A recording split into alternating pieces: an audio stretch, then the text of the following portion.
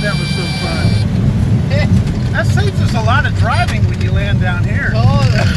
That's how I like it. Then if you Uh, hold it off a little bit long, you don't got to taxi as much. No, that's right. Yeah, you save a lot on that. That's nice. Yeah. Yeah, get those rides.